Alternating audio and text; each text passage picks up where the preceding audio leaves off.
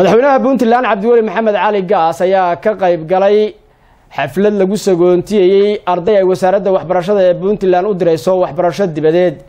Wariyahayaga sacdiya daahir nuur ayaa warkaasi faahfaahintiisa noo haysa wasaaradda waxbarashada dowladda puntland ayaa deeqo waxbarasho siisay afar boqol iyo saddex iyo toban arday kuwaas oo wax ka baran doono gudaha dalka iyo dibadiisa waxayna shalogala munaasabad saguutino u sameysay qaar kamida ardayda oo aadaya dalalka suudaan iyo etoobiya kuwaasoo soo qaadan doono waxbarashada jaamacadda ee heerka koowaad iyo heerka labaad. Sida uu sharaxayo agaasimaha guud ee wasaaradda waxbarashada puntland maxamed cabdiqaadir waxbarasho wasaaradda waxbarashadu ay siisay afar boqol iyo saddex-iyo toban arday kuwaasoo iskugu jira gudaha dalka iyo dibaddiisa.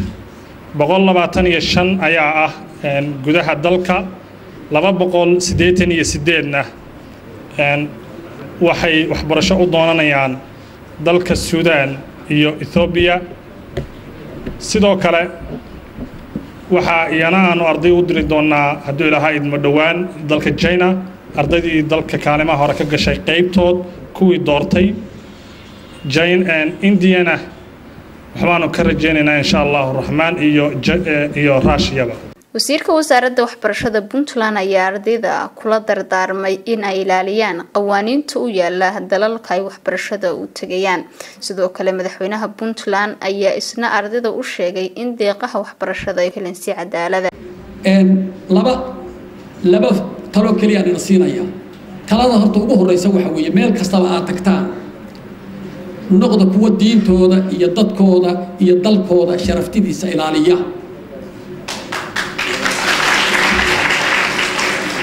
Isla markaana dalka aad tagtaan dhaqankiisa iyo qawaaniintiisa u hoggaansamaan.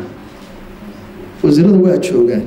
Anu madaxweyne dalkaana u malayn may maanta inay oran karaan inaan u keenay arday ama faamiligayga ama guriga ka yimid oo yidhi waxbarasho ii siiya haddii marka anagu aanan samaynayna inaan ka aqbalo cid kale inay samayso ma dhici karto.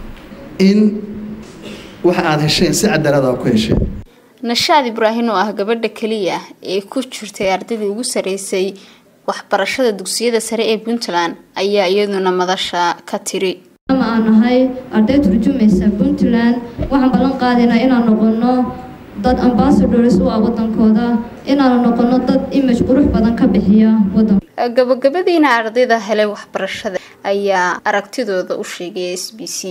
Magacaygu maxamed saalax yahay ka tirsan warbaahinta s b c maanta waxaa nasiib u yeeshay inaan ka mid noqdo ardada deeqaha waxbarasho aan ka heshay dalka dibaddiisa gaar ahaan haatan waxaan aadayaa dalka etoobiya insha allah waxaan rajaynayaa inaan noqdo arday wanaagsan oo ambasador ama safiir u ah dalkiisa islamarkaasna si wanaagsan wax u soo barta.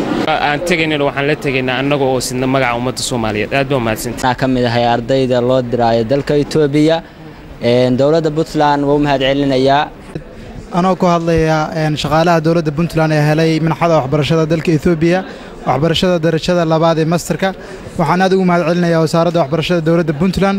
Sacdiya daahir nuur warbaahinta s b c garowe